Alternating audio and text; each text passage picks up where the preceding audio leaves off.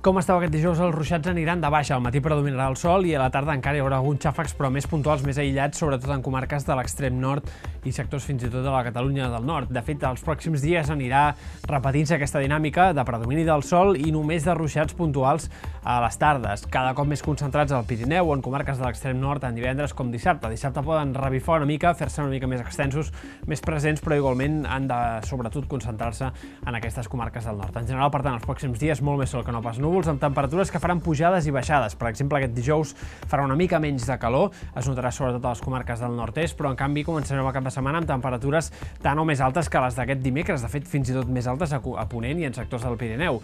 En tot cas, a mesura que avanci el cap de setmana i sobretot aquest diumenge tornarien a recular els termòmetres. Acabem aquí, com sempre, amb un parell de fotos que ens heu enviat.